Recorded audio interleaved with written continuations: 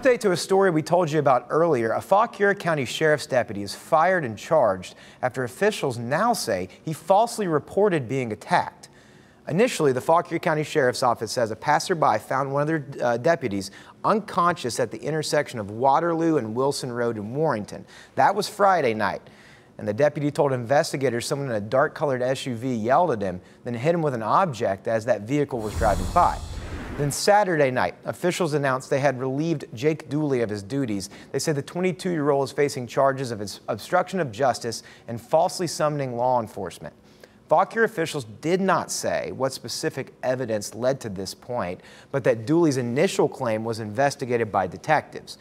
Dooley is being evaluated by mental health professionals, according to the sheriff's office.